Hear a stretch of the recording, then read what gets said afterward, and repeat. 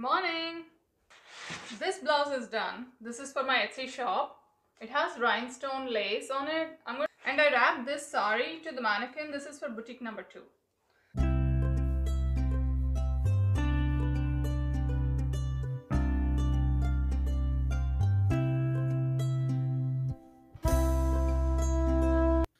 I love the effect that rhinestones uh, give to any blouse and the neck. Look at the shine. It's almost like another layer of jewelry when you wear it.